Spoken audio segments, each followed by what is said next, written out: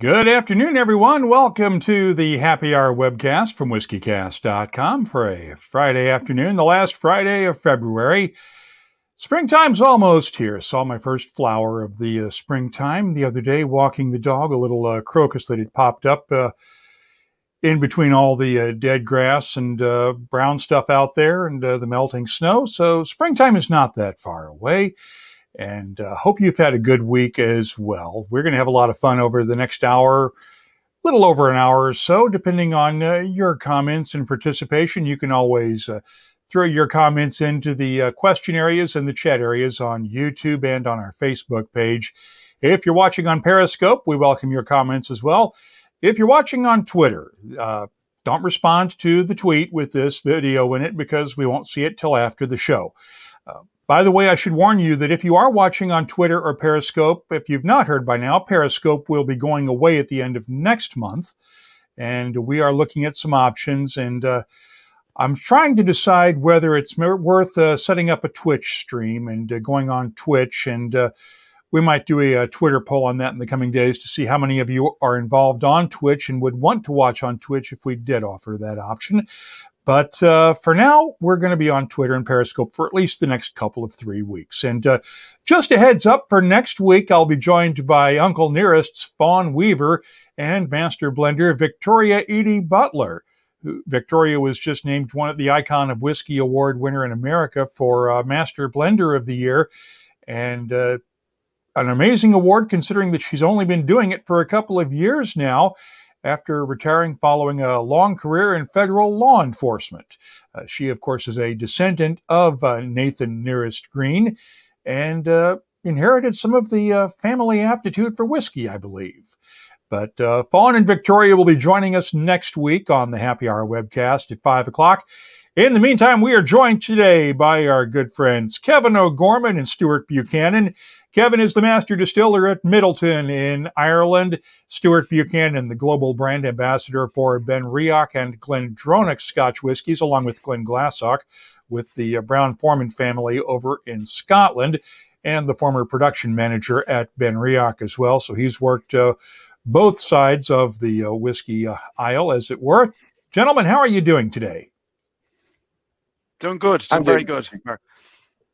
Yeah, it's great. We have uh, we have uh, whiskeys in front of us uh, that both of you guys have been responsible for. Um, Stewart, let's start off with your uh, BenRiach 21. Uh, you were not at the dist- were you at the distillery when this was distilled 21 years ago? No, no. And actually, we're having to dive back into the kind of archives a little here for this 21. Uh, the distillery had a kind of silent period from 2000 until 2002 and and that's when uh, sorry 2002 to 2004 and it was 2004 that we really uh, brought the distillery back to life as, as, it is today. So this is dipping back into the, the old production under under um, Pernod Ricard Chivas brothers so um, yeah a little bit of history actually in this glass.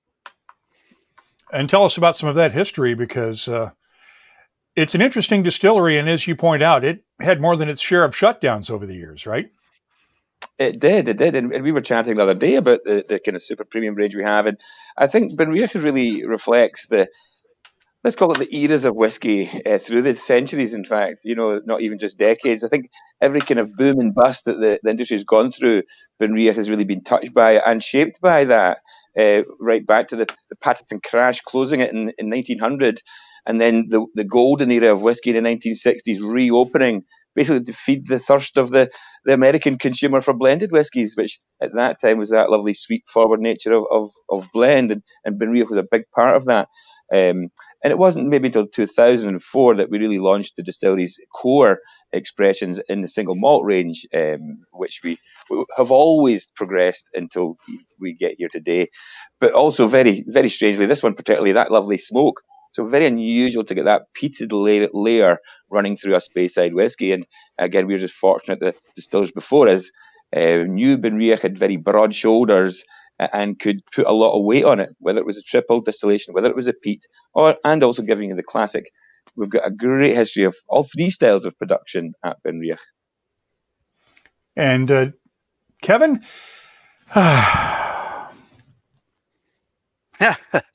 this goes without saying. Um, your first release of Midleton Very Rare with your signature, very elegant, here on the front bottle. After years with uh, Barry Crockett and a few years of uh, Brian Nation, who I heard from today, getting ready to move over to Minnesota for his new job in Minneapolis. But uh, tell us about the Midleton Very Rare and your first one.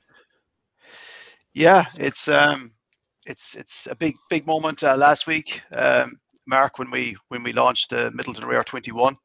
Um, we had a great um, a great event in, in, in Midleton in warehouse uh, A2, which is a, a, very special warehouse for me in Midleton. But yeah, it's it's it's an honor and a privilege. It's um, it was a huge occasion last week, um, and um, you know I started working on it last last July really in Midleton, and uh, putting all the samples together and going through lots of samples in Midleton, and eventually coming up with um, the one I decided on uh, last probably November. Um, so I'm really really happy with it um, and you know, um, over the last few weeks, I've spoken to to Barry a number of times. I've spoken to to Brian, and uh, Chuff for me as well, and thrilled. And um, it's it's a true honour. Um, to be honest, it, it really is. Um, so I, am delighted, and I got a great response as well, and, and great support. So, yeah, it's great. Um, so that's what I have in front of me tonight. Sláinte, and uh, I have to ask, Kevin, what did you think when you saw the bottle? for the first time the label with your signature on it when you got the first look at it? Yeah, it was about um, maybe three weeks ago, maybe two, two, two and a half weeks ago. Um, D- Dylan and Kieran um, on the uh, on the marketing team, they they, they uh, presented me with the, the first bottle. Uh, it was actually in Midleton in the Heritage Centre, and um, yeah, it was my first time, you know, seeing the the label, and uh, it was it was you know, kind of emotional um, eh, you'd be kind of taken aback. Um, it was it was a very proud moment, I have to say. It was it was it really was. Uh, you have to, I suppose, pinch yourself um, that you know your, your name is on the bottle. A, a lot of history going back to 1825, and the Midleton Very Rare going back to 1984. Um, so it was it was it was very special, and um, yeah, I I, uh, I, actually gave the the first bottle to uh, to my to my mother. She was 90 years of age there a few weeks ago, so she got the she got my very first oh, bottle. Wow. So yeah, so that was that was a birthday present for her. Very nice, very nice indeed. Yeah. Uh, Stewart, where's the most unusual place that you've ever found a bottle of whiskey that you helped make? Well, that you know what? Just thinking there, I think people even forget how personal whiskey is to to the people who make it. You know, I, have touched it along its way, um, and I I was surprised myself that I had actually forgotten a little bit when uh, I was managing Benriach when we launched the new 10 year old and 12 year old series here that it wasn't until I looked at the cask makeup and I saw the AYS, the actual year of the spirit we made, that was under my my ownership, my custodianship, let's say. So that was a, it caught me by surprise, but it was still quite, you know, goosebumps even thinking about it now. So again, I think it's a hugely personal thing, and even watching casks mature and develop, you know, you, you they do become personal. They're very close to you. And I joked actually, I used to see casks leaving that would go for single bottlings. I would be crying because I'd looked at that cask over best part of 14, 15 years. So yeah, that's a nice wee touch. Um, but yeah, you know, looked you at it and sampled, right? Yeah, yeah, yes, yeah. There's a larger angel share in our warehouse actually for some reason when I was uh, looking after the warehouses. But, but we've met we've met each other all over the world as well, Mark, and um, yeah. it's great to travel and see your whiskey on a shelf or people enjoying it more so actually uh, across the world. Yeah. So, yeah. Well, we have a comment already, a question actually from Dave Kuhn. Should I drink cask strength Blair Athol or cask strength Springbank? Yes, both, I think. Might as well drink them both. If you've got them, drink them both. Uh, and I see Matt agrees with me. Uh, we have, uh, okay. Dave asks also for both of you Have either of you been talking with someone in a uh, public setting drinking whiskey you made that you made and surprised them when you said, I made this stuff? Uh, well, I'll jump off there. I spend most of my time in hotels and hotel bars. It wouldn't surprise you. Um, and and again, sometimes I've I think I was in where was it? It was up in north of Florida. Uh, oh goodness, can't remember. But I was sitting in the bar after doing some work. I'd ordered a dram, pouring a dram, and you know, I think I think the great thing with, with whiskey is it's always very intriguing because people will look over and you start a conversation straight away almost because they're intrigued in what you have in your glass. So this conversation started up, and I was drinking the, old ten-year-old Benriach Curiositas, and he goes, oh, "I can smell that smoke from here." He ordered one, chatting away, waxing lyrical.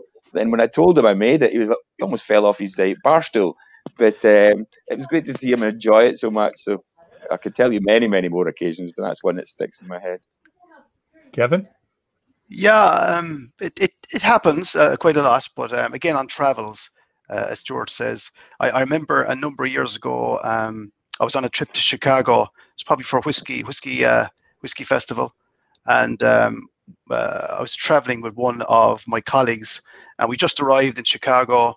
Um, and we went down to the the bar as you would, um, and I just arrived, and there was a guy just on his own at the bar just down from me, and quite honestly, the the whiskey he ordered was Jameson with ice, and I was honestly, and I was there. Isn't this amazing? I've just landed the first pair I've come into, and this guy orders a Jameson with ice. And I remember actually going down. Actually, I, I bought him the whiskey, and uh, we had a chat. Now he couldn't believe either. This guy was from Midleton Distillery, and that really stands out. Amazed, and um, yeah, that, that that probably is the one that stands out back in Chicago many years ago. The, the funny thing with myself, I'm sure you know, Mark, I wear the kilt a lot. So even if I've finished work and I'm in a, a bar, I've normally got the kilt on, which normally starts out a wee dram session anyway with whoever's around me. So that's always a nice wee thing. and I think one of your colleagues uh, piped in there, Stewart, I think they call it, Brendan says, we actually call it the Stewart's share at Benriach, not the Angels share. He knows the cask I looked after, yes, yes. hey, well, Taj McGill is joining us from uh, New Zealand and says one of her favorite memories is a late night lock in in New Zealand with Stewart pulling bottles off the shelf. Do you remember that one, Stewart? I do, and uh, well, just to touch on New Zealand, actually, the last time I was abroad was our trip to, to Christchurch for Whiskey Fest, uh, Dram Fest. This time last year. Yeah, it was, and almost just get flown out of Sydney uh, the week after the festival itself. So many, many uh, good occasions down in the, the southern hemisphere. Let's say, don't remember them all, but um, very, and that's probably because of the whiskey, but very enjoyable. No, it's not because of the people, of course. The people are amazing down there.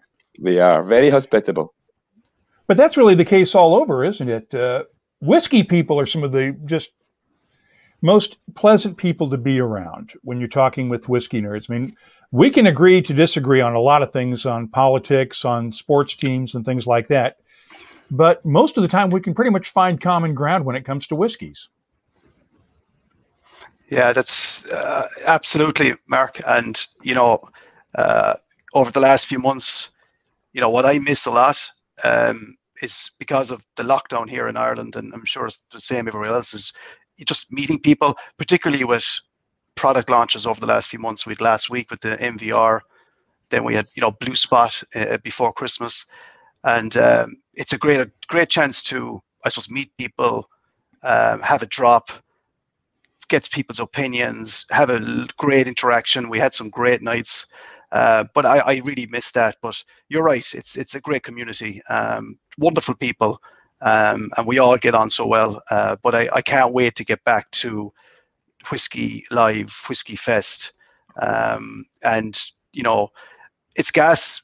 Some years ago, you'd be kind of doing a lot of travel, and you might kind of give out about it, and you know, uh, but it's gas after a, a year lockdown. Um, I, I'm really actually looking forward to getting back out there and, and meeting people again and you know i suppose presenting what we do and you know showcasing what we do and talking about whiskey and um, yeah virtual is great and we, we have to make, make the best of what we have but the, i suppose the personal touch and meeting people I, I, I really do miss that you know you mentioned blue spot i will tell you that i've been trying to track down some in the states and i must have called around to at least 10 different stores in the Northeast US last night within yeah. driving distance just to see who might have it.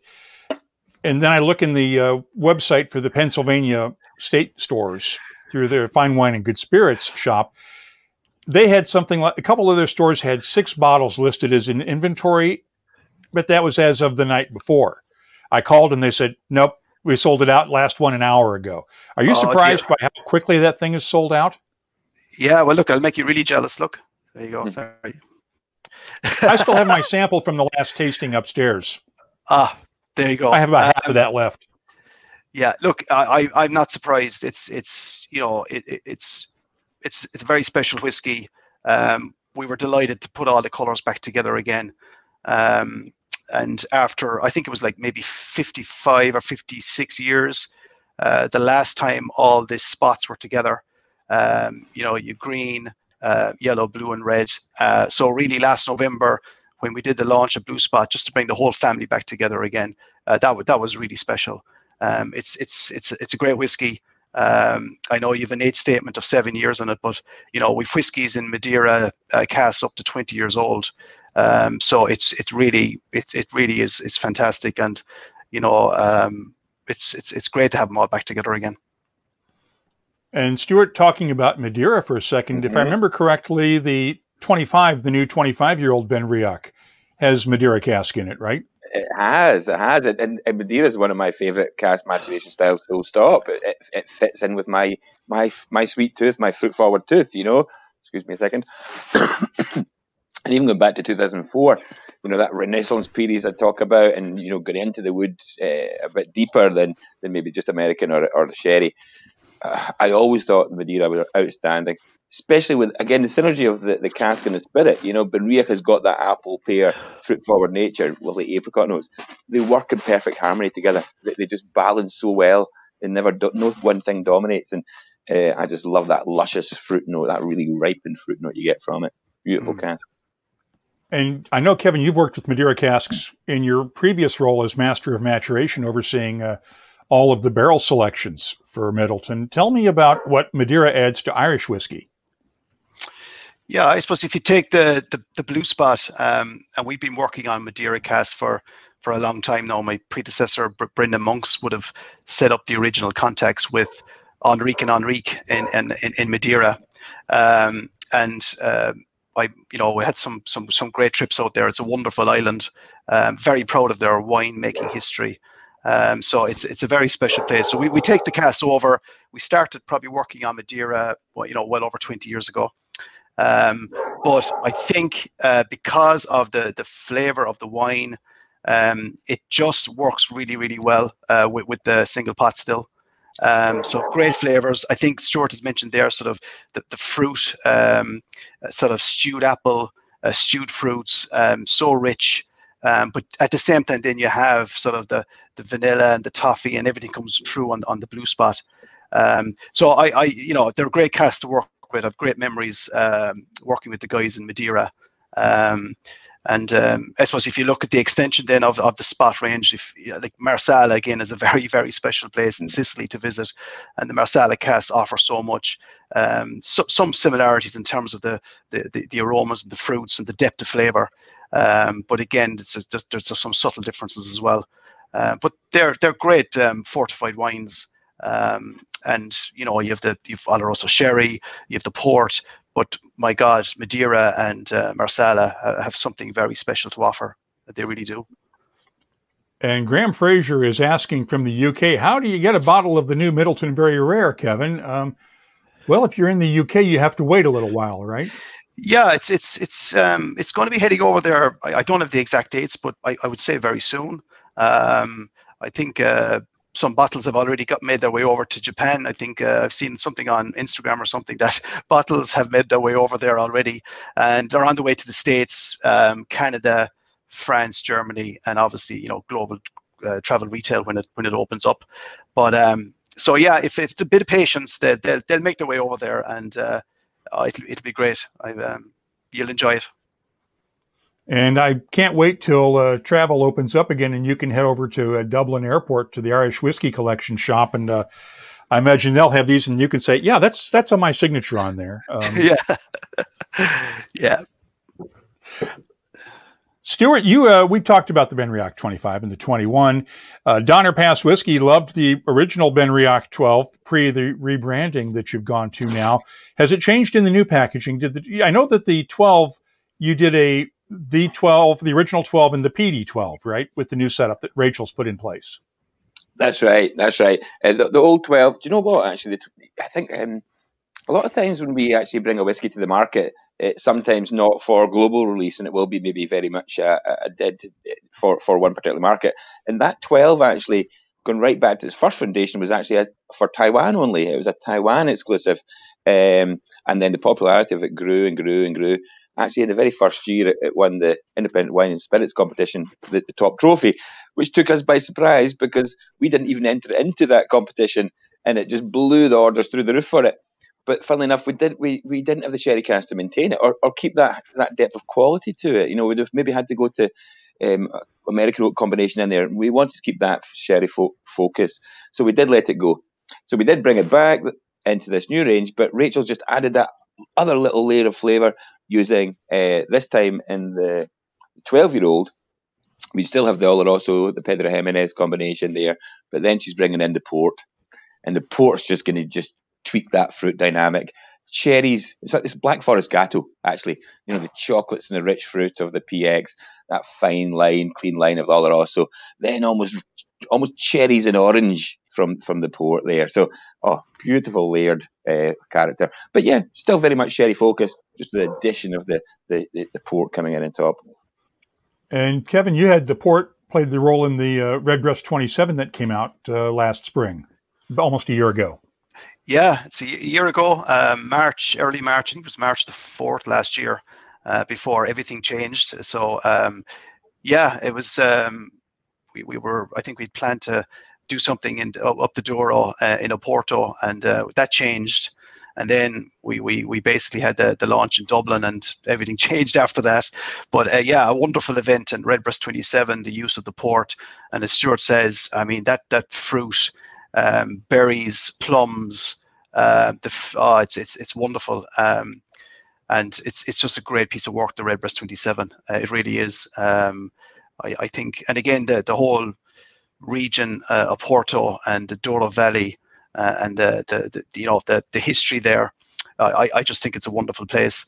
Um, and the sourcing of the cask and with some great visits out there. Uh, myself, Billy Leighton, and you know, it's it's it's a great place to visit. Uh, if people haven't gone on holidays to uh, Oporto, they, they really should uh, get get out there a few times. It's it's it's wonderful. But yeah, I I I love port cask. Um, I love the port contribution. Um, and uh, yeah, it's it's it's it's a great whiskey. Wonderful. They're, they're the fantastic to work with. I'm sorry. Go ahead, Stewart. I just think they're fantastic to work with. Funny enough, we um, the, the, the port is funny with peat.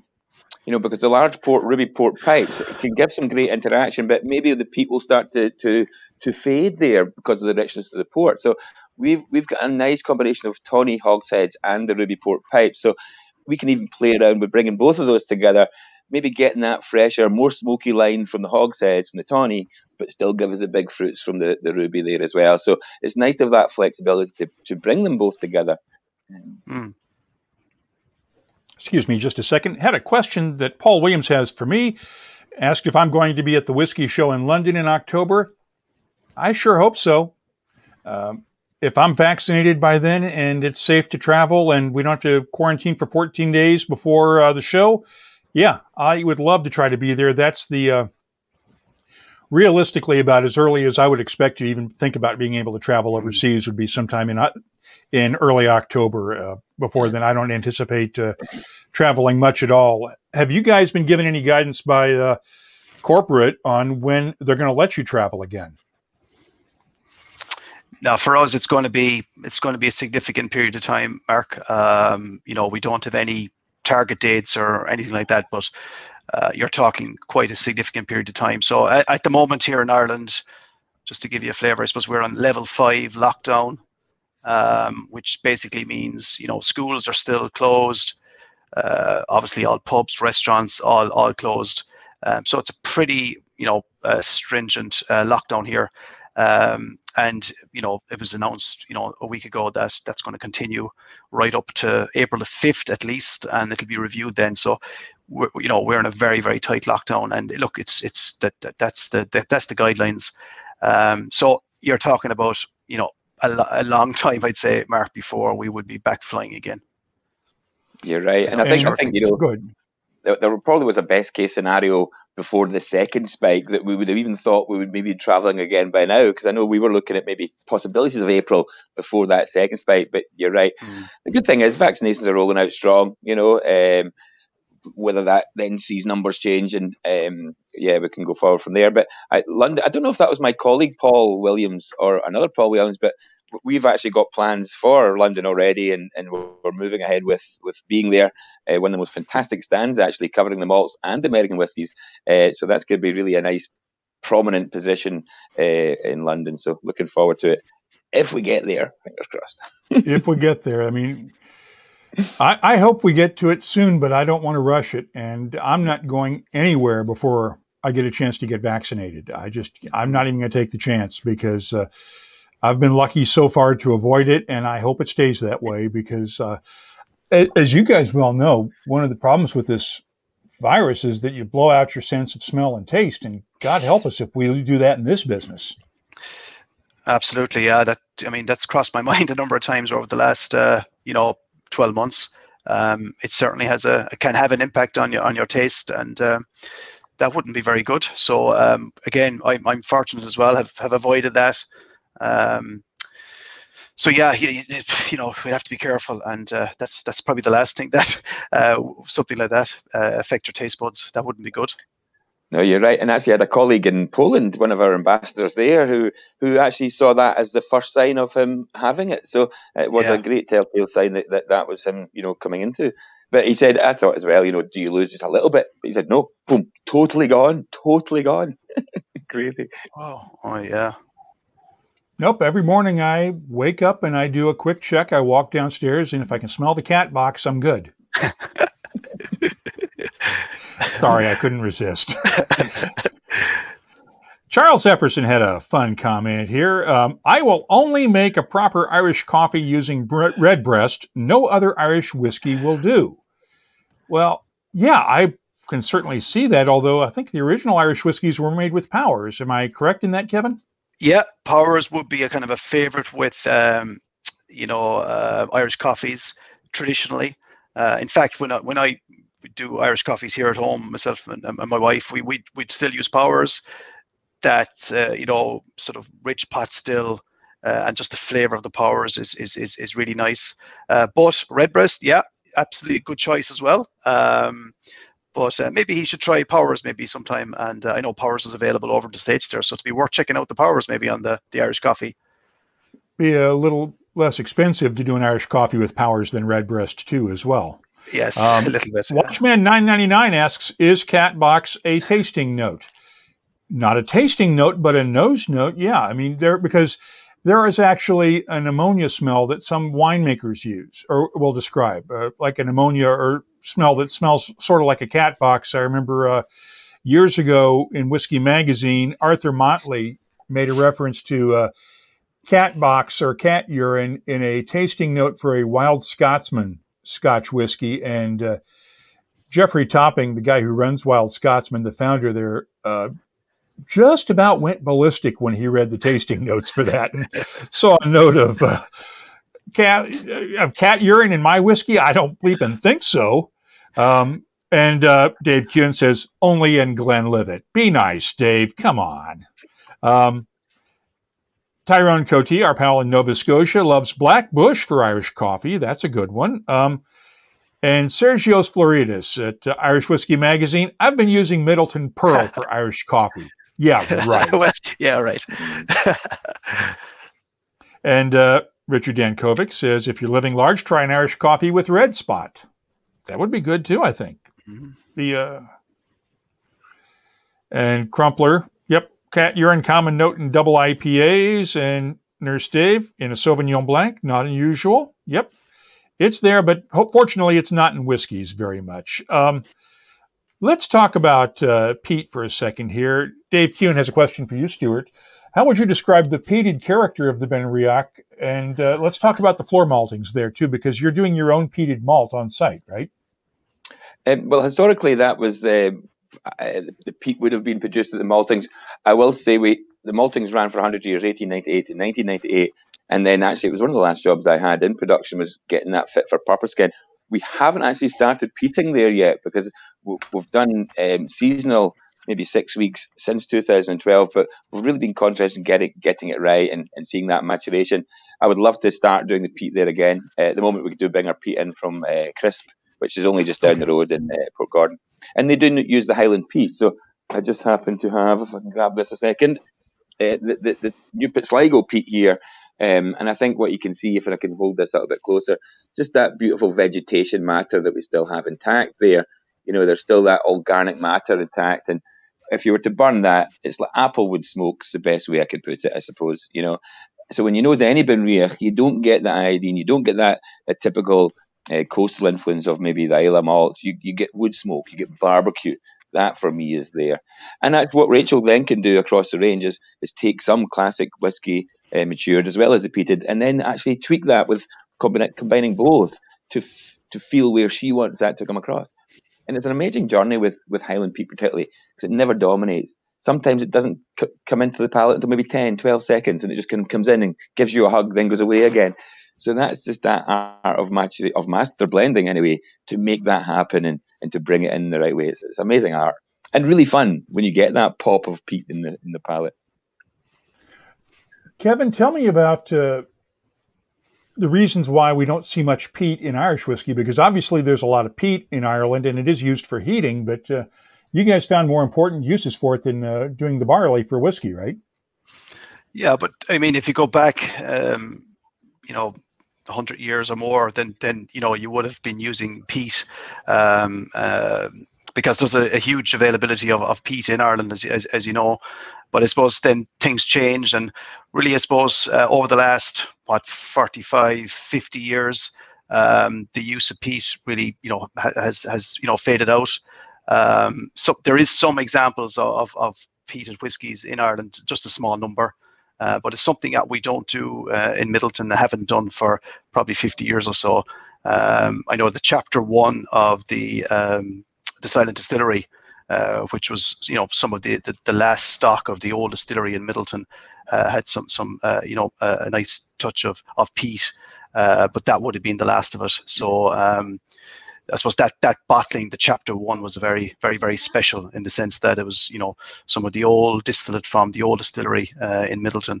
Um, but yeah, I, I, suppose look, there is some examples now of of peated uh, peated whiskies coming back in some shape and form.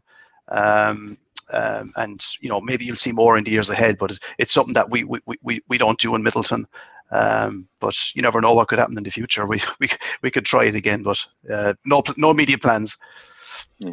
Yeah, I that would be interesting to watch. I would love to see Billy work on a peated whiskey. That would be fun. Yeah, that would be that would be a good challenge for him. Yeah, he'd love that. Yeah. I think let's talk about what you do. Have a, I'm sorry. Go ahead.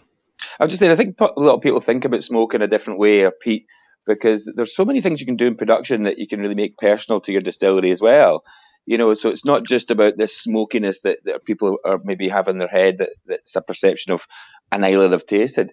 You can really take that peat and, and through your production really start to change it in some ways, whether it's through your, your fermentation stage, your, your middle cut is a huge, um, you know, huge influence of, of peat phenols that you can take your cut a little bit here or a little bit there to, to then push hmm. or, or push back. So there's a lot of things you can do in production which really personalize that peat to, to your distillery. And that's that's mm. one of the fascinations for peat for me. It's not just a layer of smoke. There's so many things you can do. Cask size, small cask, big cask, whatever.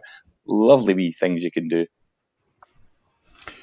Kevin, one of the other things you don't have Oh, that you you don't use peat, but one of the things you've been doing a lot more with lately is Irish Oak in the Dair Ghaelach series. Let's talk about that one because it really is an attempt to bring back Irish Oak, and I know that there's three editions out so far, and all of these have been stunning. But explain the whole Dair Ghaelach project. Yeah, so the whole project um, we started off. Golly, it must be probably 2000 and seven, maybe 2008, um, which is a long time ago now. Uh, you know, we looked at the whole um, concept of looking at uh, or using Irish oak, um, and I suppose you know the history of Irish oak is is is is, is very very interesting. Um, if you go back to it's probably the 1400s, 1500s, you know, uh, Ireland was was covered in hardwoods, and oak would have been one of those. Uh, and then over you know many centuries, uh, it was it was harvested. Uh, and eventually, uh, in the early 1900s, it was down to about one percent land cover, uh, forest cover in Ireland, one percent, which is just it was just terrible. It was awful what happened. Uh, it was all it was all cut down for for various reasons. Um, but um, you know that was a pity. Now, over sort of from the early sort of 1900s, um, you know things started to improve gradually, and then I suppose joining the European Union or the EC at the time, um, there was even more emphasis on on on, on improving forestation in Ireland um, lots of grants, um, and the government stepped in, and uh, you know those subsidies and grants were really important for farmers to to move over and shift to, to, to forestry. Um, and then we've our National Forestry Service, Coillte, who, you know who do a lot of work as well in, in, in improving forestry cover. So we're back up to around uh, 11, between 11 and 12 percent uh, cover now at the moment. So it was in the backdrop of that uh, back in 2007 that we sort of did a bit of investigation. Uh, and we started working with a forester called Paddy Purser in Ireland, uh, who's a renowned forester. Um, and then we started doing a, a few small trials um, using small uh, barrels with Irish oak to see what the flavor impact would be. Um, and that was that was very interesting. Um, and we really liked the flavor profile. Um, and so then we started, you know, I suppose reaching out to individual estate owners in Ireland who had a significant amount of oak available. And uh, the first estate was uh, Grinsell's Wood in Ballaghtobin with Mickey Gabbett. And that was our first estate. Um, and we harvested the trees. Um, I think we knocked about maybe 10, fell about 10 trees that time. Then we send those logs over to, to Spain, uh, to Barala, where we, we, where we get them um, you know, uh, sawn into staves. Those staves are sent down to de Frontera to our friends in Antonio Paez Cooperage.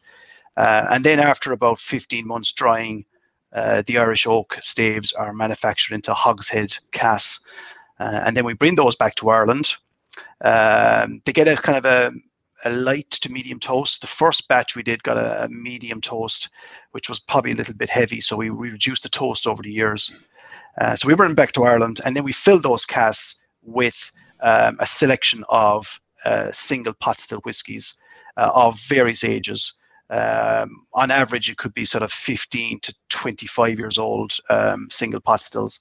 Uh, and then we finish it in those Irish oak for maybe a year, maybe two years, uh, depending on the on the cask and how the whiskey is performing.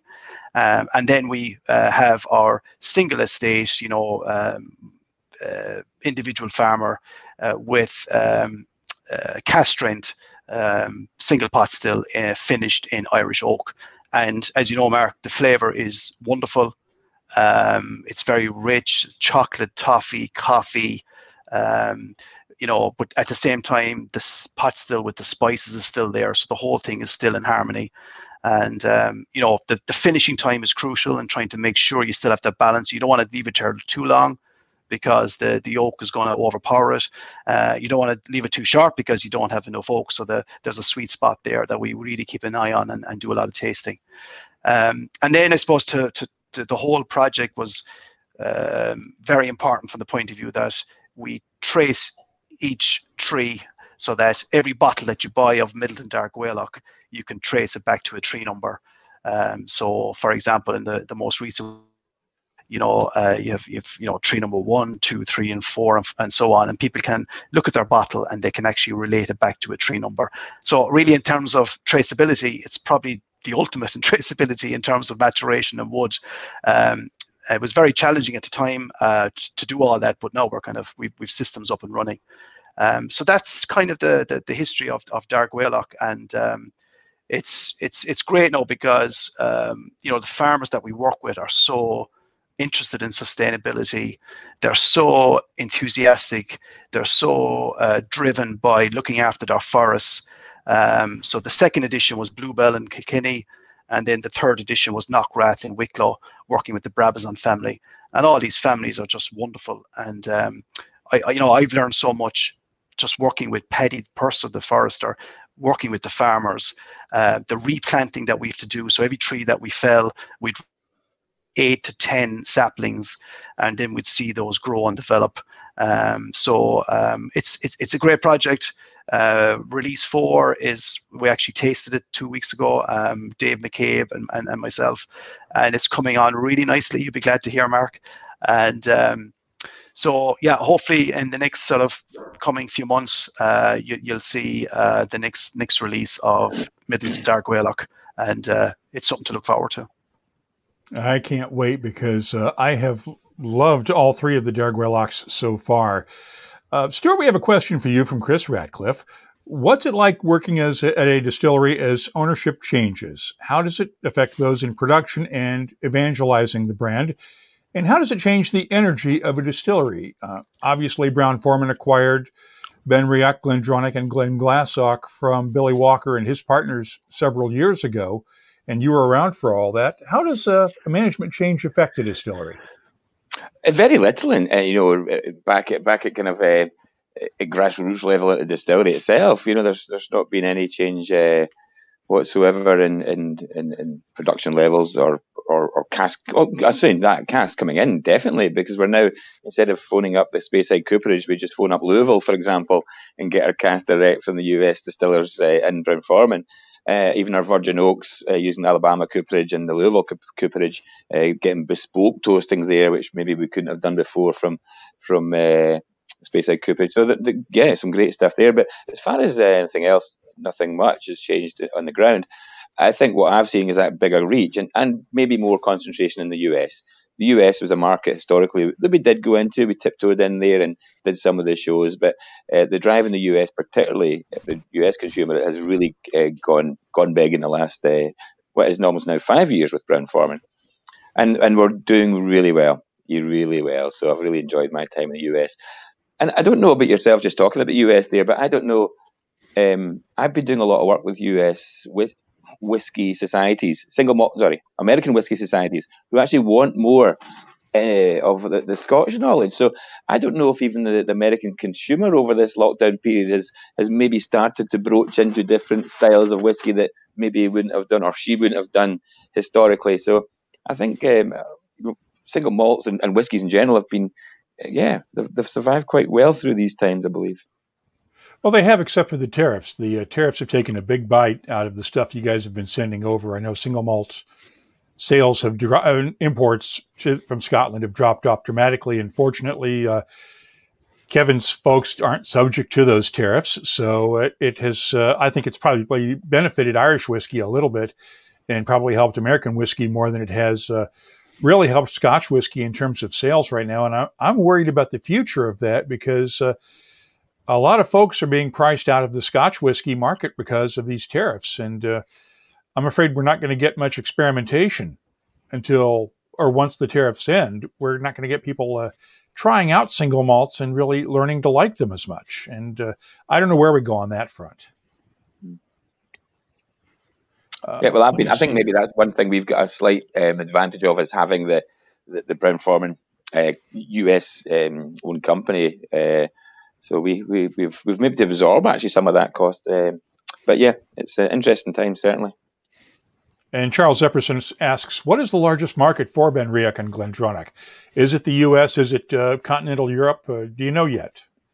Uh, yeah, historically Taiwan was always up there. You know, your top three would be Germany, France, and UK, but Taiwan would always be up there. Um, Taiwanese market is absolutely crazy. They, they are just so thirsty for whiskies of all types. You go to uh, you go there and it's yeah, the whiskey is drank in a slightly different way than we would maybe do it here. It's very much the kampai down the down the hatch. So there's not much uh, sitting around with your drams there. But uh, for a small country, they, they, they always rock number one. It's now shifted. So I would say, I'm not always looking at the figures, but US is definitely up there alongside Taiwan in that number one spot. So that's again the shift I've seen under Brown Forman, and now moving more weight, I suppose, into the US consumer.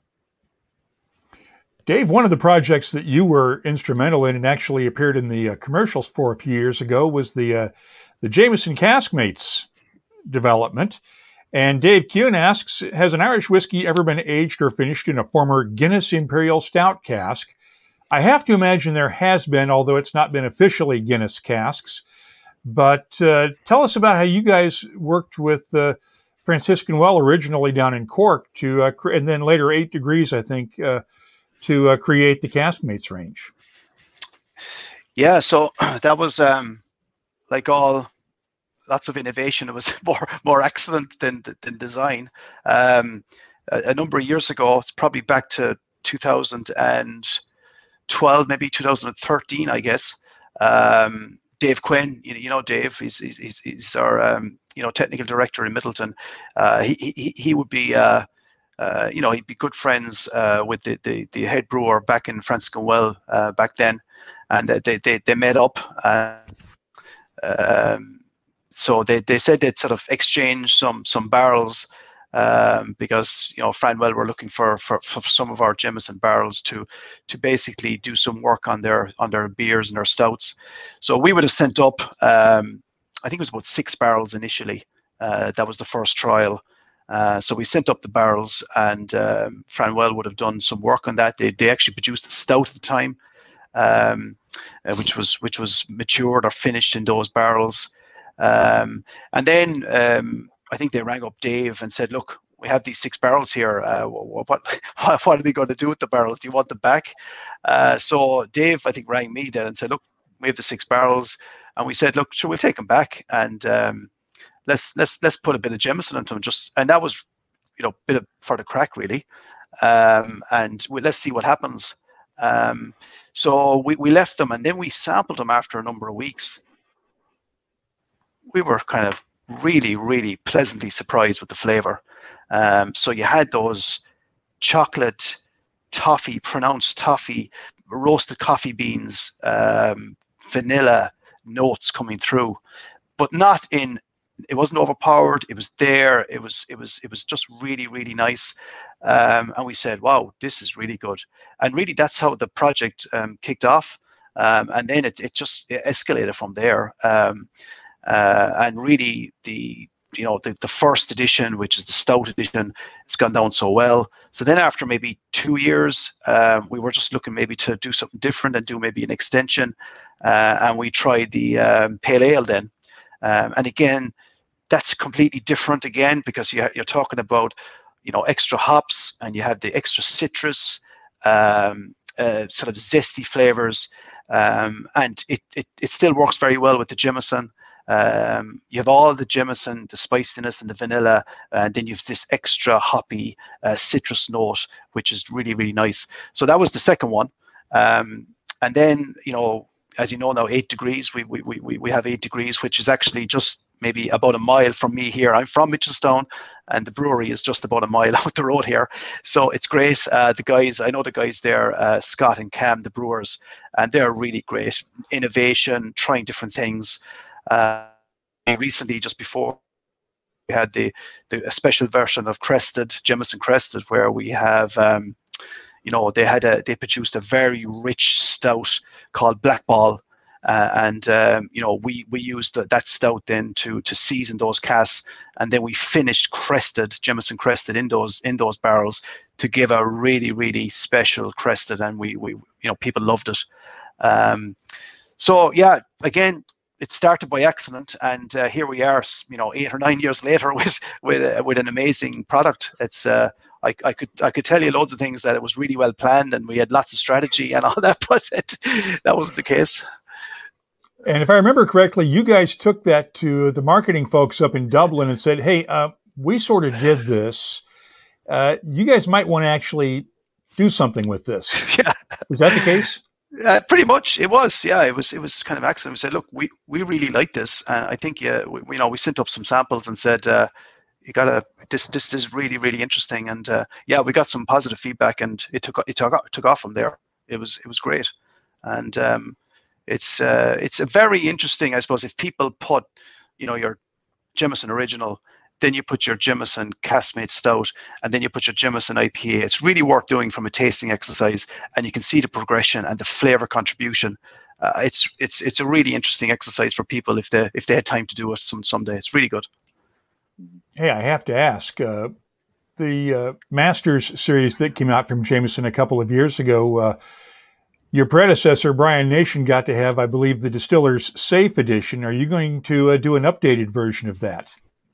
Uh, no, there's there's no plans yet, um, Mark. Nothing. No, I, I, didn't plan anything yet, but I'm, trying to get over this Midleton Very Rare 21 first. Uh, no, there's no there's no immediate plans, but because we've got to point out, Billy Leighton had the Blender's dog, and I'm trying to remember what was the th- and Ger, Buckley had the Cooper's, Cooper's Croze. Croze. Yeah, yeah, yeah, yeah. So again, so the, the, the whole idea of that was to focus on specific ac- aspects of the Jameson taste and flavor and profile. And uh, there, were, you know, the Brian's area was the you know distilling and highlighting the distillate. Then you'd Billy with the whole blending and putting something together, and then Ger with the wood. So that there were the three areas to, to, to focus on. So it was interesting, yeah. But I still think you need to do your own take on this one. I liked well, just, I liked the original three. I think you need to continue it. Okay, well, give me a chance. Give me a chance, Mark. I'll I'll, I'll get working on that. Okay. okay. um, Pass Whiskey says the tariffs suck big time. Miss being able to order from the whiskey exchange. Now it's cost prohibitive. Um, in fact, I was checking last night. The uh, Celtic Whiskey Shop in Dublin is now not even shipping to the U.S. because they had to ship through Heathrow in London, and because of the whole Brexit issue, shipping through London became really a nightmare. So uh, you can't even order from the Celtic Whiskey Shop in our buddy Ally Alpine in Dublin anymore right now because of Brexit. Um, and the uh, let's see, uh, Don Watchman ninety nine points out uh, Whiskey Exchange won't even ship to Canada, but those U.S. tariffs need to go. Uh, ben Marnock asks if Stewart, if you've heard anything about issues getting Benriach and Glendronach into the EU. Uh, there seem to be some problems for the smaller whiskey companies post Brexit. Uh, that one may be above your pay grade. What have you heard? No, not at all. Actually, we again the thing as well. I think what we did was almost preempt any changes and start working on them two and a half years ago. So Brown-Forman also have an office in uh, Holland, just in outside Amsterdam. So we did even two and a half years ago make a wise decision to uh, change some addresses to the Amsterdam office. Now, this was just to see if it would ease things up, make things a bit more uh, fluid. So we had, yeah, worked very closely um, with with the label. Actually, a lot of label designs had to be changed for that, just making th- so that we could get things as smooth as possible if they could be come the time. And we did have an issues, but the, the issues weren't particularly in, in moving the whiskey uh, legislationally wise. It was actually more just to do with the ports being overwhelmed. There was huge overwhelming from the ports across uh, UK and and uh, elsewhere that really maybe did stack up a little bit of backlog. But other than that, we were quite well prepared for it. And Richard Dankovic has a question that uh, both of you, uh, it's for Kevin, but I'll pose it to both of you. What are your thoughts on the insanity in secondary market pricing for the MVR 2020, which was Brian's last edition? But I will tell you, last night I saw a, uh, bottle of Blue Spot priced at a, I believe, a European retailer for 460 euros a bottle for something that had about an 80 euro list price. Mm. What are your thoughts on the secondary market pricing as distillers and whiskey makers? Yeah, I mean, if you look at the MVR um, 20, which is, you know, as you say, Brian's last, um, yeah, the, the, like, you know, it's commanding, you know, pretty high prices. Um, it's something that it, it kind of disappoints me, Mark, to be honest. I, I as a distiller and a, as a whiskey producer, you know, we have our recommended retail prices. a lot of it is outside of our control, but you know, I, I just you know, I like to have whiskies accessible for a certain price and people enjoying it. Uh, and this sort of exchanging of whiskies and flipping whiskies, it's it's it's disappointing, but it's a lot of it is outside, you know, our control. Um, so yeah, look, it's it's it's I suppose it's disappointing. I, I don't like to see it. Um, and for me, Midleton very rare. People should you know, buy a bottle or buy two bottles, enjoy it, keep a bottle, great. But um, you know, flipping them from, from for really high prices is is is it's, it's not it's not for me in a way. Stewart, on my front, I'm surprised I've got a lip left.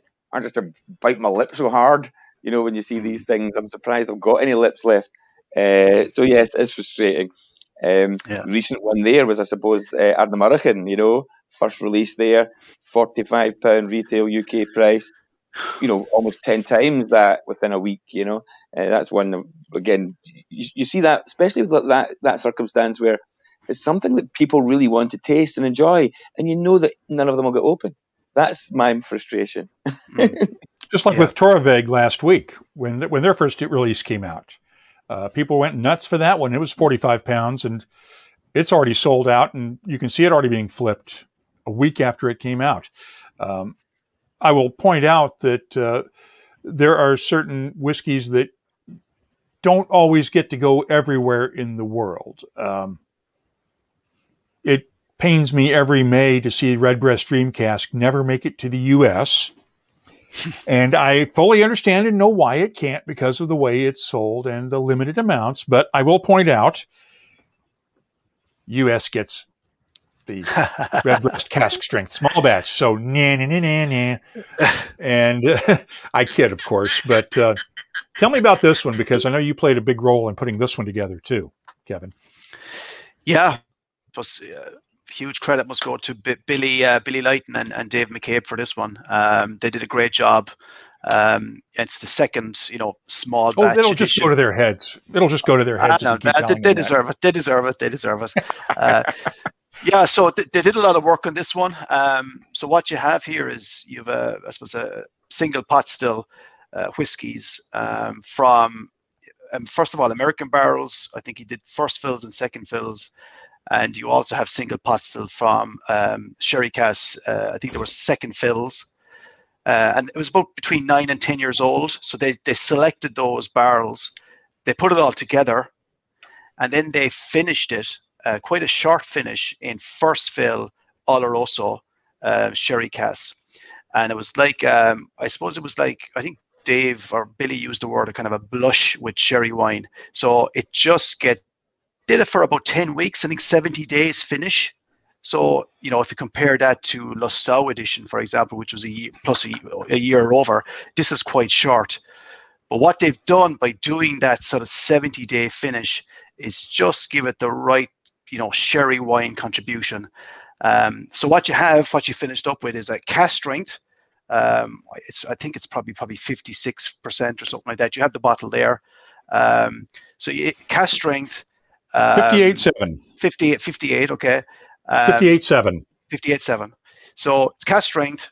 Um, you still have those. I tasted it last week with, with, with, with Dave, and what you have is those sort of dry fruits, which are reminiscent of redbreast. But what you have then is this heightened level of other fruits like, uh, you know, cherries, black currants. It's a real fruit but at the same time, and Billy and Dave are really careful to get that balance right with the, you know, the vanilla. So you have the dried fruits, you have these sort of fleshy fruits, you have the vanilla, and you have the, the oak, and it all comes together. So look, they've done a great job, and you, you know, you're very fortunate to, to have, a, a, I suppose, a, a small batch I, over in America to keep to yourselves. I got lucky on that one, and yes, uh, we're we're lucky to have that one. And uh, yeah, as uh, Dave points out, yes, it does us all good to hear somebody going, nah, nah, nah, nah, nah. I'm kidding, of course, but uh, you guys get bottles over in Europe that we'll never see. Now, Dave Kuhn has a good question for you, Stewart. The Allardice bottles, I believe, are Glendronach's, right? Yep. Were the the ones that were bottled before 2020? He wants to know if it's true those actually contain a slightly older whiskey, considering the mothballing. That's something that's being thrown around on certain whiskey forums by uh, people who uh, like to say that they have some inside information. What's the truth on this? Yeah, I think again, it's quite. It's not really a secret. It's just something we've never really promoted. But if you look at the when we bought the distillery in two thousand and nine, uh, two thousand eight, you know, we we got great infantry there, and I think the ambition that we wanted to do back then was was bring back to life the core range.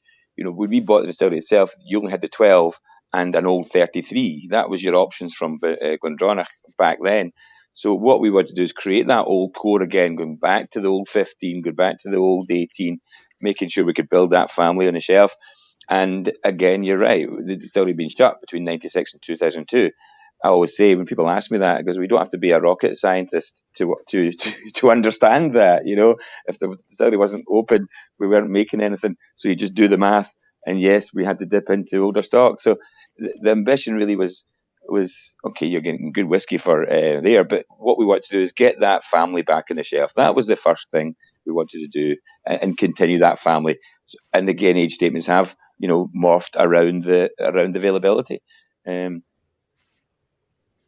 Age statements are always somewhat fungible. They can uh, yeah. they can vary a little bit as long as you don't go claim it's actually older than it really is. No, that's right. That's right. And again, it was something we don't shout about, but you know, most people who, look at the distilleries' period opening periods will obviously do that little bit of math, and and it'll give you the answer. Question from Charles Epperson for both of you: Do you have any favorite American whiskeys? Uh, any that you particularly enjoy? I'm really hooked on. I, love all American whiskies. I really do. Again, I've got a sweeter tooth, so a lot of the American mash bills and, and casks really fit my palate, to be honest. And what blew me away was the uh, Old Forester. I've always loved in, it, in its in its own form, but when they started releasing that Whiskey Row series, you know, the 1898, 1910, oh goodness, they're they're right up my street, right up my street. There is a Funky Bee distillery up in um, Detroit, though. Two James boys. They do the they do Johnny Smoking Gun, which is an extremely unusual uh, whiskey that I actually had a wee dram of last night. So if I was to go weird, I will go up to John uh, up to Detroit and do some uh, Johnny Smoking Gun. Need to get over there and try that out. Uh, when I go to Detroit, it's usually to go over across to Windsor and go visit uh, Don Livermore at Hiram Walker because uh, Don's an old friend and I just love going over there. But how about you, Kevin? Any American whiskeys that you particularly enjoy? Yeah, I mean, I, lo- I love visiting. You know, I used to up to this year go over maybe every September, October to to visit all the cooperages and uh, you know do some work at the forestry and all that. And I just love going to Louisville. Um, I really, really is, and uh, some good friends over there, and traveling around to the various you know places to try different uh, bourbons and rye whiskies. Uh, I, I, I love it there. Um, and again, you know, we, we've uh, we've we've some bourbon guys ourselves over there, Rabbit Hole, uh, Jefferson, um, and they're all really, really interesting. They're doing doing fabulous work. Um, and I know the festival of their bourbon and beyond. I'm not sure it's going to head this year or not, but again, that's a great festival. I love trying out different bourbons. There's loads of them there. Mark, it's very hard to pick one, to be honest. Um, and they've all different flavor profiles, and it's just wonderful to get a chance to to try them all. Um, well, Bourbon and Beyond is not is not going to happen. The music festival is not happening this year in Louisville. Um, Kentucky Bourbon Festival is still scheduled to take place, but uh, we need to get you down to Texas to Firestone and Robertson, yeah, which is also yeah. part of the family now because right. uh, Rob Arnold was on the webcast a few weeks ago, and they're doing some really good whiskeys down there too. Yeah, love love to get over there. So, love sometime, really would. And Chris Ratcliffe asks uh, for you, Kevin, a good entry point for Redbreast. He fancies his first bottle, which is a good representation of the character. Well, I think the 12 certainly is, but yeah. the 12 cask strength is good too. I think probably start off with the Redbreast 12. Um, and I, I, suppose for, for people that maybe don't know Redbreast, you have, you know, it's it, you have some American barrels, but then you have a, just a really generous slug of Oloroso sherry, uh, first fills, um, and it just has this wonderful flavor. Um, and uh, then you know maybe maybe try cask strength if you do like like cask strength whiskies, maybe redbreast cask strength, um, and then you know after a while you have the redbreast 15, uh, which has um, you know more, more, more refills and there's a, just a different uh, different flavor profile. Um, uh, but look, you've loads of options. But I would suggest start off with redbreast 12 uh, and just get those wonderful dried fruits, what we call in Ireland Christmas cake or plum pudding uh, flavors. It's just so rich. Uh, try that. And Whiskey Canuck up in Montreal. I got a bottle of the Redbreast 12 this week. The Lustau edition is another one I like a lot. And uh, the Lustau edition comes from uh, barrels that were done exclusively at the Lustau Bodega in Jerez. And uh, Chris Ratcliffe goes, so yeah, try all of them. Yes, you should. yeah. Chris Ratcliffe, one final question for both of you. Is there something you'd like to try that you haven't had a chance to try yet or are envious of others doing? Uh, different finishes, mash bills, or blends? What have you, uh, what have you, well, what, what have you seen other people try that you haven't done yet that you'd like to play with? Well, I'll jump in just a second because even as you were talking about the Irish oak, for example, and how that's been working. I would love to have played around with that. That I'm extremely jealous uh, on that front. Um, we've worked with wines again, going back to 2004. So I think we've not even. I keep on saying with the regulations that we have, uh, SWA, I don't think we're even scratching the surface of the flavours that we can produce within the guidelines there. So I'm quite happy we continue to, with the over 35 different you know, barrel styles we have, continue to deliver. Tequila's now on open. Uh, you know, um, do, do we start bringing some nice Herradura barrels over? Uh, possibly. Um, love to work with that. But there's I like I like Japanese whiskey. There's I know, I know you know very well Chichibu, for example. They've done some really good cask work. I've seen one of the most fantastic cask structures there, using almost a hogshead form, but shorting it and putting in Japanese oak ends. So it's a kind of stumpy short cask, but the same diameter as a as a hoggy. You know, great, beautiful, just well thought out wood management there. We might. Sure, Buckley uh, would love that. He would. We could swap a bit of Scottish oak, uh, Stewart, for Irish oak. What do you think? Swap a few barrels. That would do it. That would do. Up for that. yes, uh, Mark. We'll uh, we'll see if we can put you two together in contact with each other and arrange that barrel swap. I get to taste it first, though. Okay, okay. but again, I suppose the, the the big advantage we have here is that we, the different types of woods that we can use, and I know Mark, you've tasted them down over the years, and um, you know we want to continue more work on that. But you know, so far we've the chestnut, which is superb. Um, and then you know the cherry, which is you know a challenging wood to work with, but again the the, the end result is you know so different um, and pushes the boundaries. Um, and then we've acacia as well. Um, so it's it's it's great to work with those particular woods, and uh, I know Stewart would probably love to get his hands on, on some of those particular wood types. Um, and I suppose over the next few years, we're, we're just trying to try different types of woods. Some some work and some don't work you know, between leakages and uh, porosity, you have, you have lots and lots of different issues. So there's a bit of trial and error in all this, but uh, that's sort of something that I'd like to, to keep working on over the next few years, you know. You've done a lot of that with the uh, Method and Madness range, right? Yeah, that's that, that all falls within Method and Madness um, range, where we, I suppose, it's, it's it gives a scope to try different, you know, experiments and innovation. Uh, it's great fun. Um, and you know, a lot of these experiments that we're doing in warehousing and in distillation in the micro distillery, they don't fall, I suppose, naturally into some of the other brands like say Redbreast or Powers or Jameson. So therefore, we needed another outlet, and that's where we we, we sort of brought in Method and Madness probably what five six years ago uh, to give us to, to allow us to use all those sort of experimentation and you know unusual things that we're trying in the in the warehouse.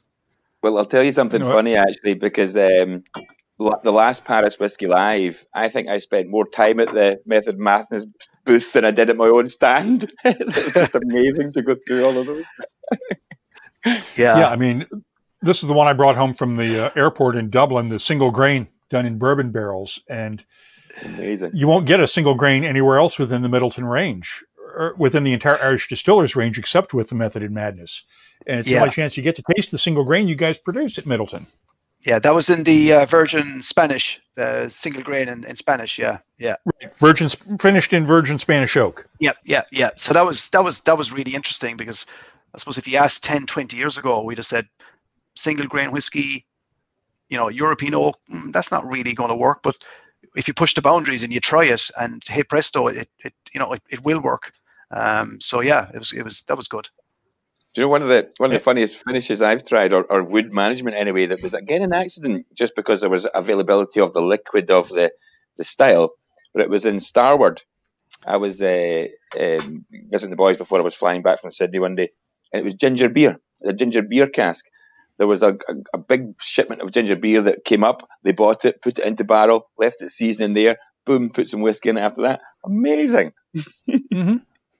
Nice one. Yeah, because especially with Jameson, that would, I mean, if you ever had a Jameson and ginger ale, that would bring out the, or ginger beer even, that just brings out the finish in that. Um, let's see, uh, Richard Dankovic, are there any new Method and Madness releases on the horizon? I'm betting that you couldn't tell us if there were, Kevin, or if you told us you'd have to kill us or something like that. But uh, well, I, would suspect we're going to see something else in this range. It's too good yeah. not to uh, let it die out. No, no, uh, no, no, no. We've we've lots. Believe you me, we've lots in the warehouse, and uh, you know, you know, uh, with the micro distillery we set up in 2015, so we've lots of different distillates that we have worked on and mash bills over the last number of years.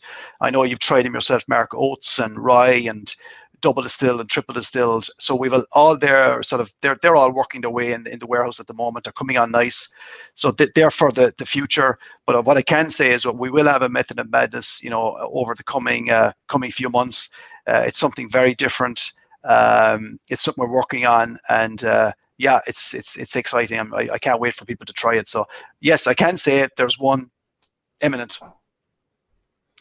And uh, Ashley Penny from Dublin. Have the lads any great hope that uh, last year's Dublin Whiskey Live will go ahead this year? We can only hope. No word yet. We, we, we can only hope. Um, I, I, it's probably too early, but I, I, suppose at some stage Ally is going to have to make a call at, at, at some point. Um, but you know, in terms of events this year in Ireland, be it concerts or be it sporting events, it's very much up in the air. Um, you know, it's just I, I think the coming two months are going to play a huge part in, in, in, how we get this thing under control. The numbers are still too high. Um, so I'd say maybe come April might be a better better call then. Hopefully it will. It's it's it's it's, it's brilliant. Hopefully it will. And until then, the best thing we can do is uh, wear the masks, social distance, and follow all the rules. Because uh, yeah. yes, I know it sucks, but the sooner we, the more we do it, the sooner we can get back to uh, being together again. Yeah, absolutely. Yeah. Yeah. Yeah. Well, well, we've gone and basically uh, wasted 75 minutes of your time tonight, guys. Thank you so much for doing this uh, late on a Friday night. And uh, Slàinte gentlemen, I really appreciate your time. Uh, it's I both of you are good friends, and uh, I value my our friendships. And uh, thank you for doing this. No problem at all. Okay. Cheers, guys. Slàinte. So, will me uh, say goodbye again to everyone, and let me uh, cut the. Let me just uh, say goodbye to everyone. As Watchman nine ninety nine points out, please waste my time again soon. Well, we will do that next Friday night at uh, five o'clock East Coast time. 10 o'clock GMT, 2200 GMT, 10 o'clock Dublin time. We'll be joined again, once again, by Uncle Nearest Tennessee whiskey founder Fawn Weaver and master blender Victoria Eady Butler will be my guests on the Happy Hour webcast next Friday night. Once again, 5 o'clock East Coast time, 10 p.m. Dublin, UK time, also 2200 GMT. And until next week, thanks for joining us. I'm Mark Gillespie. Uh, take good care of yourselves, be good to each other, and uh, we'll see you next week. Slàinte